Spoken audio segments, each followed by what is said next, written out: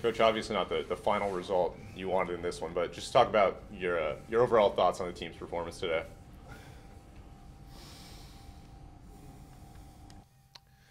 You know, I, I never, you know, question our kids' effort. Um, I thought they played very hard.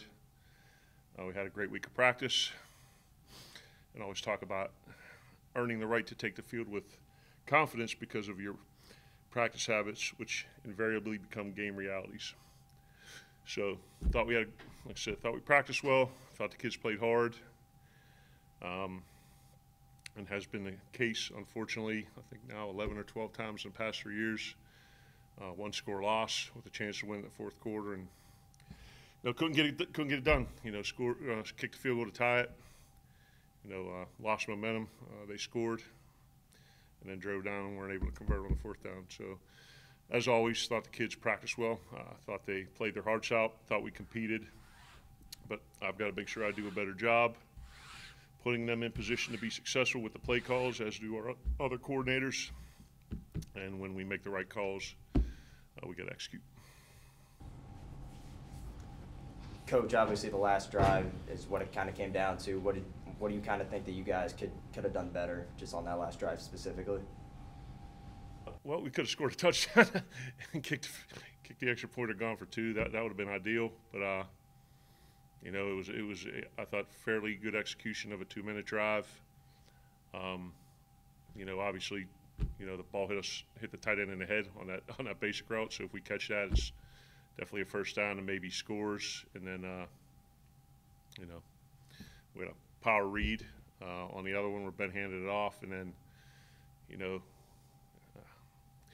tried another double post wheel concept on the last play like we had hit Jordan Simmons on and, and I had seen during the week uh, that Penn State had hit a bunch of times, and they brought a pressure where it was one more blitzer than we could pick up. So, uh, you know, that, that, you know, good job by them. Um, in regards to that Bowling Green go-ahead touchdown, Harold Fannin took the, the end around. Looked like there might have been a hold there. I don't know if you saw that or what happened on that play there.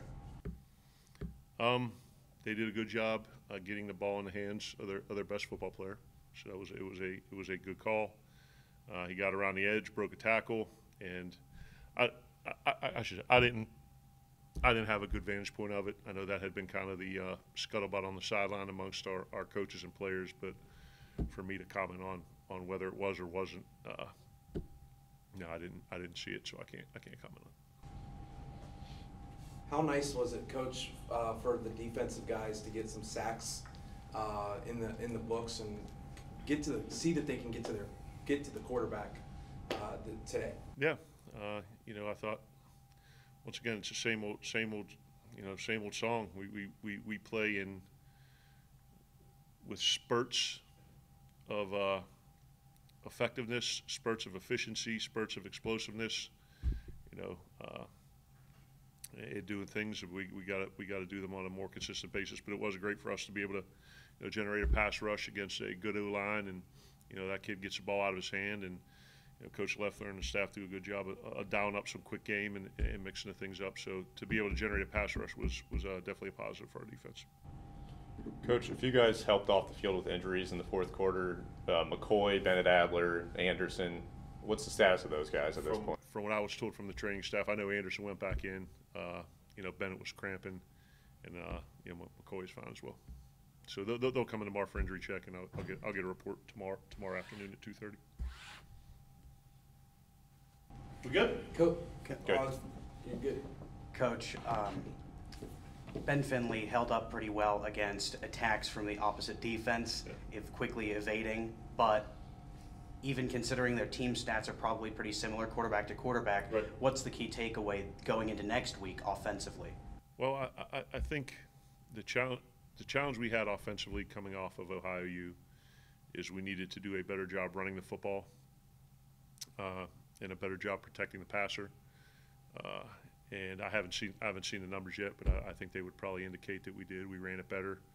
Uh, we didn't give up as many sacks, and you know, we were able to complete some balls and push push it down the field a little bit. So, still not uh, efficient enough, still not explosive enough, but uh, just in terms of, of running it a little bit better and you know finding a way to t- to protect and give Ben a chance to throw the ball down the field. And I thought his feet were more settled in the pocket as well. You didn't see him kind of backing out of there and escaping, uh, you know, where he shouldn't. So I thought, you know, you know, I think we had one possession in the third quarter, uh, and I believe we scored on all the others outside of the, outside of the last one, uh, on the, on the, on the last drive of the game. So I thought we took, took some strides running the ball and, and, uh, protecting the passer. I was gonna say, Coach, um, what is it gonna take to maybe get the, the offense maybe jump started earlier? It seems like you had two hundred plus yards there in the fourth quarter. What, what is it gonna maybe be to, to kind of kickstart it, uh, to get that kind of efficiency, just maybe the first half? Yeah, I think it's two things. I think we, we gotta make sure that we're, we're calling plays early on in the game that, that are both, uh, you know, kind of an opening script that, that mixes up run and pass, you know, things that we can get out of our hand and complete quick and, and get some yards, but also take some shots. So, uh, you know, combination of, of, uh, you know, play calling and, and execution, I would say, uh, Chad. And then what, what's the, what was the, the, take the result kind of, I guess, out, but what was the mood in the locker room once you guys, once you went in there? I, I mean, it, it, some, I mean, it's, it's, fr- it's frustrating. It's frustrating because we've, we've, uh, we've, I'll say, come a long way, but, uh, you know, we talk about, you know, we're competitive in every game, and you know, we go into the fourth quarter and we have a chance to win it, and I told them I'm tired of talking about it. That we got to find a way to win these one-score games in the fourth quarter, and they're they're tired of hearing about it, but, but ultimately to, to change the result, collectively, we've got to do something about it, which is different, which is whether it's offense, defense, or special teams, you know, find a way to play a uh, complementary brand of football in the fourth quarter, whether it's another stop, another touchdown, another big play on special teams that that allows us to, uh, you know, close the game up. Speaking of special teams, your punter, once again, able to knock a couple balls inside the five. Just talk about him a little bit and what he's done to help you guys with the change of field position. No, he's uh, no, he's been a great weapon for us. And, and once again, I mentioned earlier in the week what a great job Coach Mavico's done in terms of evaluation. I mean, punter, field goal kicker, uh, you know, special team schemes. Um, you know, having a guy like Book and like uh, and Garrison, you know, where you feel confident that when you take the field in, in a third of the game, which is special teams, that, that, that you're going to yield a positive result. You know, that's definitely been, you know, been a positive for us this year. Anything else, fellas? Good? Good. Appreciate you guys always covering us. Thank you, thank you very much.